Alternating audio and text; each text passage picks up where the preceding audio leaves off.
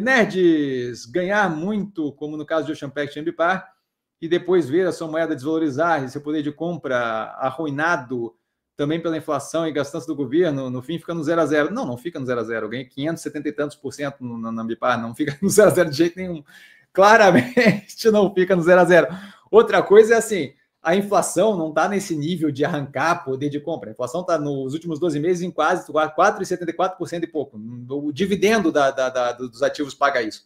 Então, não, não, não. Isso está viajando completamente. Não tem nenhum vínculo com a realidade isso daí. Eu vou até ler o. Ele, ele, ele continua ali. Fatos, entre aspas. Não, não é fato. Não é fato porque não anula.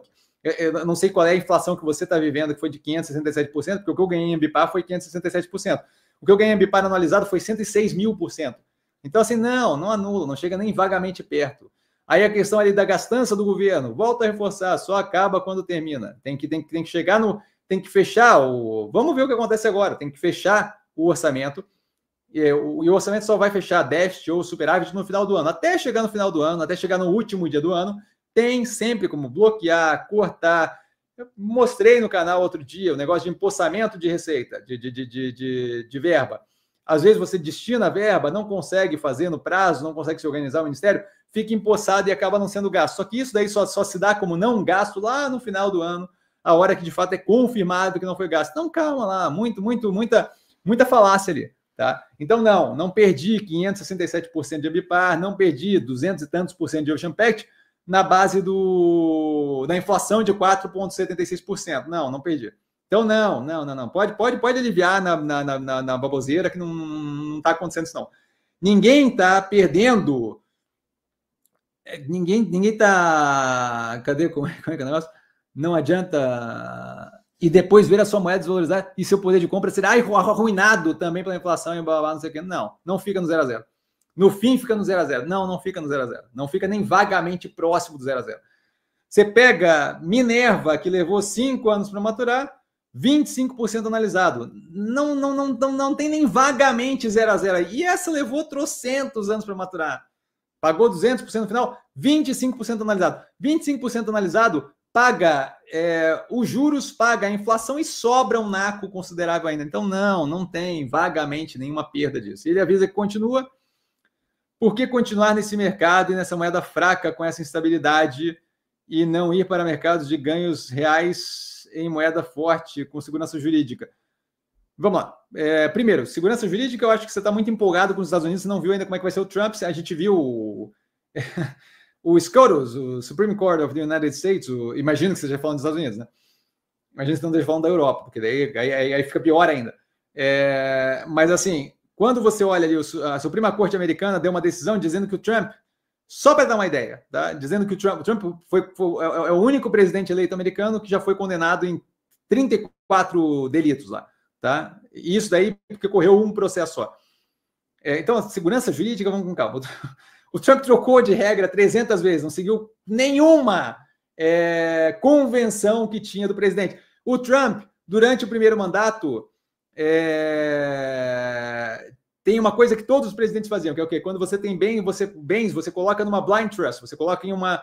É, geridos por um terceiro e você não tem contato com aquele terceiro para justamente que você não possa usar o seu poder como presidente para influenciar o, o seu ganho financeiro. O Trump não fez isso, botou na mão dos filhos dele, que com quem ele tinha contato consistentemente e usava toda a estrutura dele de hotel, resort, o caramba, para ganhar grana em cima do uso do governo federal para fazer aquilo. Então, assim, não, não, não, não, não tem. Não sei de onde é que está vendo segurança jurídica. Você tem que acompanhar mais os Estados Unidos para ver o, o, o, negócio de verdade, tá? Não, não, não, calma lá, não, tá?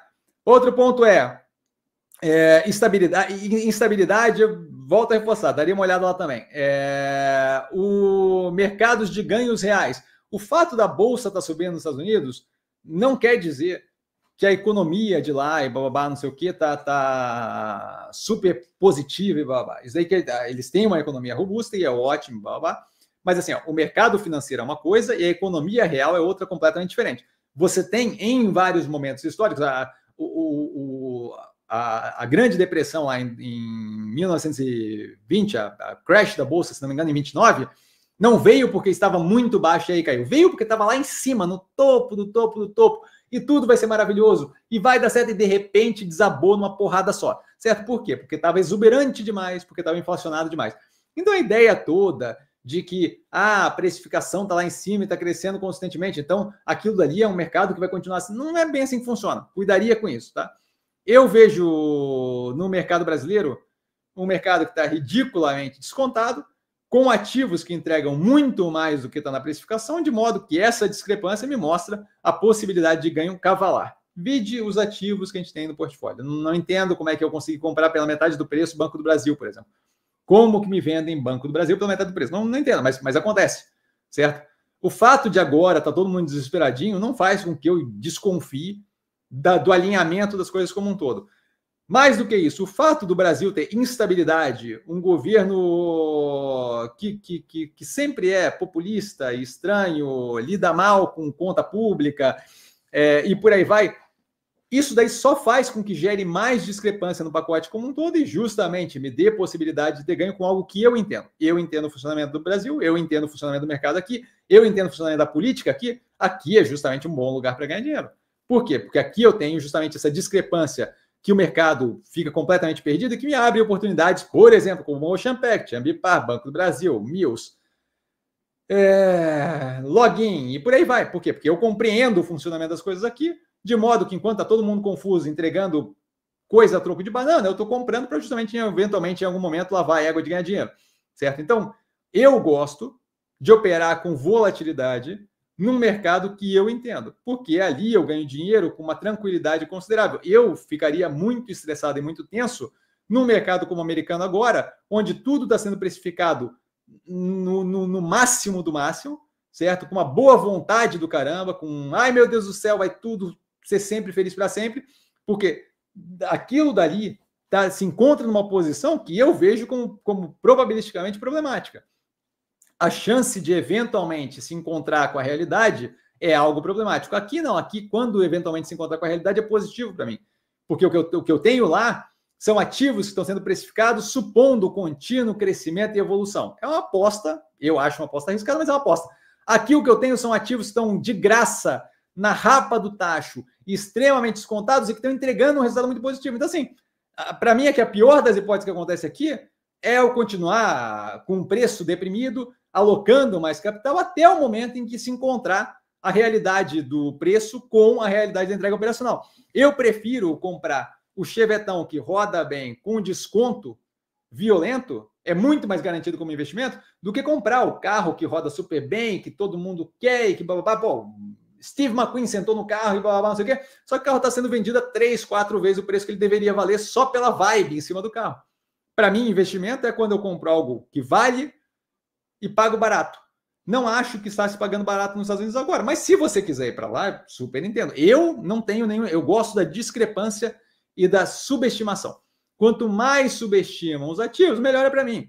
Quanto mais de graça me dão algo que tem valor, porque não viram que tem valor, melhor é para mim. Eu não quero pegar a obra de arte super, ultra, mega valorizada, que todo mundo já tocou dinheiro em cima de dinheiro, em cima de dinheiro, em cima de dinheiro, é...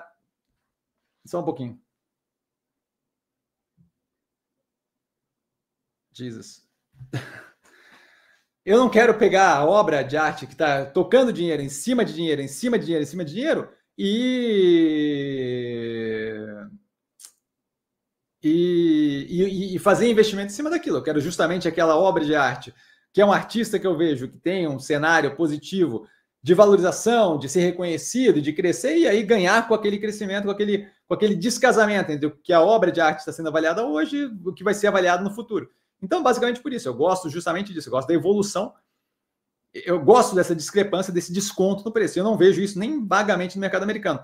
Ganho dinheiro quando eu compro no talo e vendo lá em cima. Eu não ganho dinheiro quando eu compro as coisas que todo mundo está numa exuberância e aí o negócio continua subindo naquele oba-oba. Aí, aí, aí eu acho bem arriscado certo? Porque a hora que vem no contra, vem no contra. E aí você perde, e aí não é um, você perde como a gente aqui. Ah, o preço está caindo de Cogna, que está ridiculamente descontada. O preço pode cair ali até o talo. A, empresa continua entregando agressivamente, o preço está ridiculamente descontado. Eventualmente aquilo ali se encontra com a realidade. No caso contrário, não. No caso contrário, a hora que cai, cai e, e nunca mais vai se ver aquilo ali.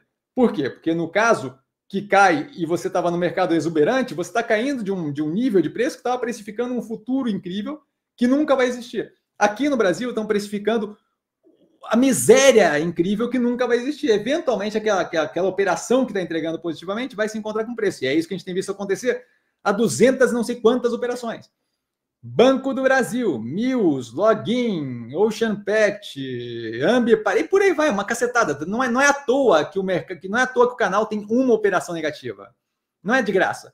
É porque eu só entro em operações que eu vejo ridiculamente um desconto versus o que entrega. Então, eventualmente, aquilo ali casa com a realidade. A hora que casa com a realidade, ponto, dinheiro. Minerva também, uma cacetada, certo? Então, basicamente por isso.